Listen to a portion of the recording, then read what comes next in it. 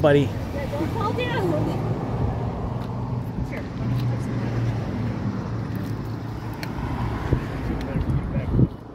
I know. It's kind of like mama on Is there mom black pop? Yes. Okay. Yeah, they're AKC registered. Okay. I own both the parents. Oh, they're The, the male is at 85 pounds, Okay. And he was specially bred to be a sporting dog. really?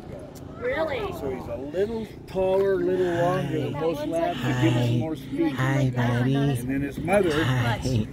Hi. was Hi the there. largest Like, kinda female of her litter Hi. and third largest Hi overall. there. So how big is she? How big is she? She's about 75. Hello.